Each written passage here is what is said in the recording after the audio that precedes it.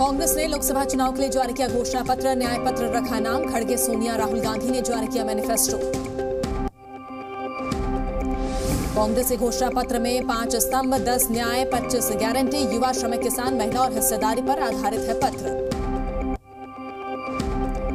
घोषणा पत्र में कांग्रेस का किसानों पर भी फोकस किसानों को एमएसपी कानून देने की गारंटी कर्ज माफ़ी का भी वादा। सरकार बनने पर कांग्रेस कराएगी जातीय जनगणना। मजदूरों को चार सौ रुपए मनरेगा की गारंटी। कांग्रेस के घोषणा पत्र पर बीजेपी का हमला। सुधांशु त्रिवेदी ने लगाया आरोप न्याय पत्र में विदेश की तस्वीरें। सुधांशु त्रिवेदी ने कांग्रेस के घोषणा पत्र को बताया, झूठ का पुलिंदा बोले, कांग्रेस झूठे वादे किए। राजस्थान के चूरू में पीएम मोदी ने दोहराया 400 पार का नारा, कहा, मेरे लिए मेरा भारत, मेरा परिवार। कांग्रेस के मैनिफेस्टो पर पीएम मोदी का निशाना बोले दूसरी पार्टियाँ जारी करती है घोषणा पत्र लेकिन बीजेपी जो संकल्प लेती है उसे पूरा भी करती है।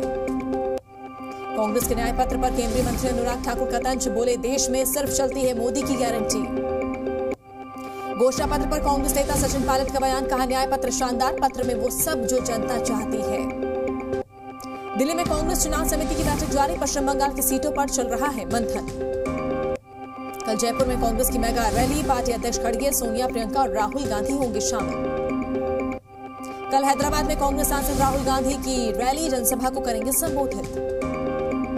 उन्नीस अप्रैल से पहले रामनवमी पर ममता को दंगे का डर, बीजेपी पर लगाया आरोप, कहा, दंगा किया तो दंगाइयों को नहीं छोड़ेंगे एमपी की खजुराहो लोकसभा सीट पर कांग्रेस और समाजवादी पार्टी को बड़ा झटका, एसपी प्रत्याशी मीरा यादव का नामांकन रद्द।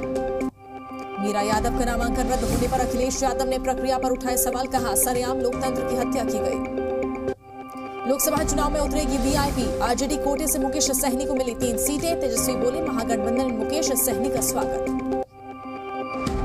वीआईपी को मिली मोतिहारी, गोपालगंज, झंझारपुर सीट। तेजस्वी यादव ने कहा, विधानसभा में भी जारी रहेगा गठबंधन। चुनाव आयोग ने आम आदमी पार्टी नेता आतिशी को नोटिस जारी कर कल शाम तक मांगा जवाब। आतिशी ने 2 अप्रैल को बीजेपी पर लगाया था ऑफ़र देने का आरोप। चुनाव आयोग की नोटिस पर आतिशी का पलटवार बोले, चुनाव आयोग ने बीजेपी के सामने टेके घुटने। सीएम योगी की एक बार फिर बदमाशों को चेतावनी कहा, जो समाज की सुरक्षा के लिए खतरा बनेगा, उसका राम नाम सत्य भी तय है।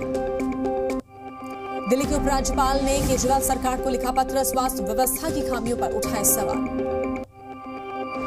एलजी की चिट्ठी पर मंत्री सौरभ भारद्वाज ने दिया जवाब, कहा, षड्यंत्र के तहत दिल्ली में दवाओं की कमी। यूपी मदरसा एक्ट रद्द करने के इलाहाबाद हाईकोर्ट के फैसले पर सुप्रीम कोर्ट की रोक अदालत ने कहा, मदरसा एक्ट को समझने में हाईकोर्ट ने की भूल। दिल्ली शराब नीति मामले में सीबीआई ने राउस एवेन्यू कोर्ट में दाखिल की याचिका, बीआरएस नेता की कविता से पूछताछ के लिए दी अर्जी। द केरला स्टोरी पर फिर बढ़ा विवाद, दूरदर्शन पर फ़िल्म के प्रसारण के खिलाफ कांग्रेस चुनाव आयोग से की शिकायत, आचार संहिता का बताया उल्लंघन। जम्मू कश्मीर की बारामूला में आतंकी घुसपैठ की साजिश नाकाम, सुरक्षा बलों ने दो आतंकी को किया ढेर। नए सत्र से पहले एनसीईआरटी ने पाठ्य पुस्तकों में किया बदलाव, बाबरी, गुजरात, दंगे और हिंदुत्व की राजनीति के विषय हटाए गए। बिहार में पड़ रही प्रचंड गर्मी, तापमान 40 डिग्री के पार पहुँचा पारा 10 जिलों में तापमान 40 डिग्री से ज़्यादा। छत्तीसगढ़ के रायपुर में बिजली दफ्तर में लगी भयंकर आग, ऑफ़िस में सब डिवीज़न में आग लगने से हड़कंप। बिजली ऑफ़िस में रखे ट्रांसफार्मर में लगी आग आग की वजह से सुनाई दिए कई धमाके। धार की भोजशाला में पंद्रहवें दिन भी एएसआई के सर्वे जारी। सर्वे के बीच अदा की गई जुमे की नमाज़। झारखंड के कोटी में पीएलएफआई के तीन नक्सली गिरफ़्तार। बड़ी घटना को अंजाम देने की फिराक में थे नक्सली। छत्तीसगढ़ के दुर्ग में नशे का कारोबार करने वाले तीन आरोपियों किया गिरफ़्तार। आरोपियों के पास से करीब चार लाख की नशीली दवाएँ बरामद। नोएडा में छह साल की बच्ची पर कुत्तों ने किया हमला। मासूम की चीख सुन पहुँचे लोगों ने बच्ची को बचाया। यूपी के शाहजहांपुर में अवैध तमंचा बनाने वाली फैक्ट्री का भंडाफोड़। भारी मात्रा में तमंचा भी बरामद। पुलिस ने एक शख्स को किया अरेस्ट। यूपी की बस्ती में बच्चे पर बंदरों ने किया हमला। एलेक्सा ने बचाई मासूम की जान। ताइवान में विनाशकारी भूकंप से अब तक 12 लोगों की मौत। 1100 से ज़्यादा लोग घायल 600 से ज़्यादा लोग अभी भी फंसे हैं। रूस में बर्फ़ पिघलने से आई बाढ़ लोगों को सुरक्षित जगहों पर भेजा गया करीब 120 रास्ते बंद। ताइवान में हेलीकॉप्टर से रेस्क्यू ऑपरेशन लगातार जारी। भूकंप के बाद हुए लैंडस्लाइड के मलबे में फंसे हैं